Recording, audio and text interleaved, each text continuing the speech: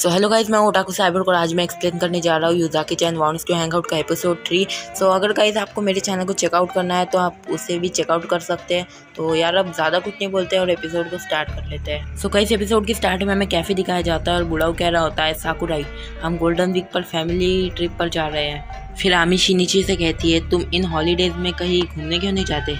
फिर हमें शिनीची के घर का सीन दिखाया जाता है और वो अपने मन में कह रहा होता है खैर उन्होंने तो यही कहा था। पर मैं पिछले बहत्तर घंटे से बिना रुके वीडियो गेम खेले जा रहा हूँ। ये हॉलीडे का एहसास मेरे लिए ये बहुत ही अच्छा है।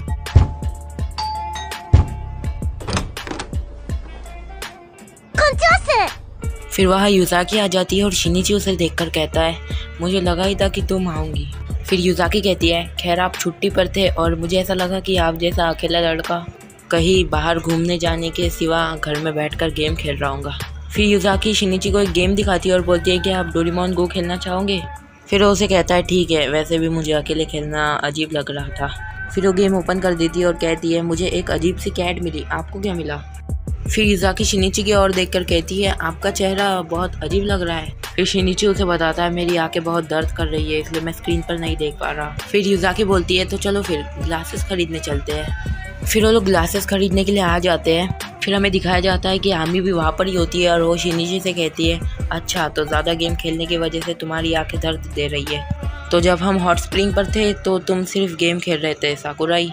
फिर युजाकी कहती है, अगर मैं इनके घर ना जाती तो ये अभी तक गेम ही खेल रहे होते। फिर युजाकी कहती है, अगर आमी भी आया है तो आप अपने लिए ग्लास स्टैंड क्यों नहीं बना लेते? फिर आमी उसे बताती है हाँ जो अकेले गेम एडिक्ट होते हैं, उन्हें ये चाहिए रहता है। इस ग्लासेस से जो एलसीडी डिस्प्ले से ब्लू लाइट निकलती है, वो कम हो जाती है।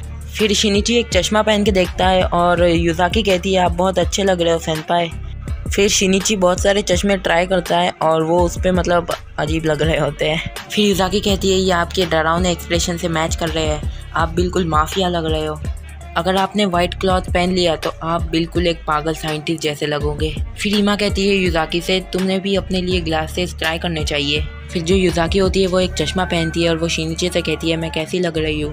फिर शीनीची कहता है उससे, तुम एक अजीब सी बेवकूफ़ लग रही हो। फिर युधा युजाकी गुस्से से कहती है लेकिन मैंने तो आपकी तारीफ़ की थी। फिर शिनीची कहता है लेकिन तुमने मुझे माफिया डॉन भी कहा था बेवकूफ़ और पागल साइंटिस्ट भी। तुम्हें कुछ भी सोच समझ के बोलना चाहिए। फिर वो दोनों ट्रेन में आ जाते हैं और युजाकी कहती है मैं ग्लासेस नहीं ले पाई इसमें आपकी गलती है। फिर वो वही एक घटिया सा गेम खेलते हुए कहती है ओ मुझे एक कैट मिली। और शिनीची कहता है मुझे फिर से एक गोरीला फिर युजाकी कहती है, अगर ऐसी ही अच्छी वीडियो देखना है बड़ी और ओटाकू साहब को सब्सक्राइब कर लीजिए। फिर गैस ट्रेन में भीड़ बढ़ने लगती है।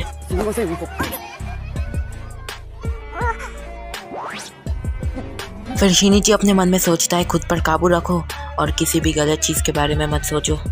मैं अपने मन में से हर घटिया चीज़ निकाल दूँगा और एकदम शांत रहूँगा। लेकिन वो ऐसा कुछ नहीं कर पाता और बहुत कुछ सोच लेता है और वो पूरा लाल हो जाता है और उसकी जो लाल किरणें होती है वो बाहर निकलने लगती है। फिर युजाकी कहती है, गेट बंद हो रहा है सैनपाई जल्दी आ जाओ।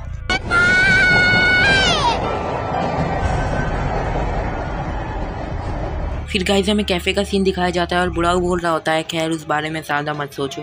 तुम अभी एक जवान लड़के हो, तुम्हें ज़्यादा टेंशन लेने की ज़रूरत नहीं है। आमी भी लड़कों के साथ घूमती है तो लड़की के साथ घूमने में कोई प्रॉब्लम नहीं है।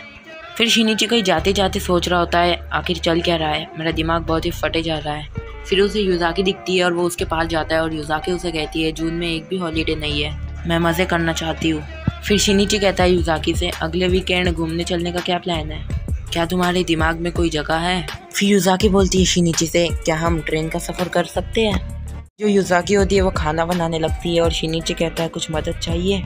फिर युजाकी कहती है, आपने कहा था कि पिछले बार आपको तबीयत ख़राब होने की वजह से मेरे खाने का टेस्ट नहीं आया था।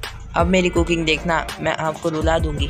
फिर शिनीची कहता है, मैंने माइनक्राफ्ट डाउनलोड करके रखा है, चलो अब यही खेलते हैं। फिर युजाकी कहती है शिनीची से हम ऐसा कुछ बनाएँगे जो कि किसी ने पहले कभी ना बनाया हो।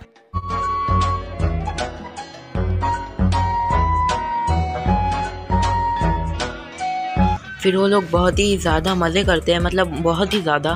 फिर शिनीची युजाकी को छोड़ने स्टेशन पे आ जाता है और युजाकी कहती है करी पॉट को फ्रिज में रख देना। और उसे रात भर अगर बाहर रखोगे तो और भी अच्छी लगेंगी वो खाने में। फिर शिनीची कहता है युजाकी से, आज का दिन बहुत ही अच्छा था। हम अगली बार भी ऐसे ही मज़े करेंगे। फिर युजाकी कहती है, अगली बार? तो फिर कल का क्या ख्याल है? फिर शिनीची कहता है, ठीक है तो कल मैं वैसे भी फ्री हूँ। फिर वो कुछ चेक करती है और वो कहती है शिनीची से सॉरी मैं अपना पर्स घर भूल फिर शिनीची कहता है, तुम काफ़ी लापरवाह और यूजाकी उसके शिनीची के घर वापस चल जाती है और इसी के साथ ये एपिसोड एंड हो जाता है। और गाइज़ अभी तक आपने चैनल को सब्सक्राइब नहीं किया है तो सब्सक्राइब कर लीजिए और वीडियो को भी लाइक कर देना। और गाइज़ आपको ऐसी मज़ेदार वीडियोस और देखनी है तो मेरे चैनल को भी सब्सक्राइब कर लेना यार। तो मिलते हैं नेक्स्ट वीडियो में, तब तक के लिए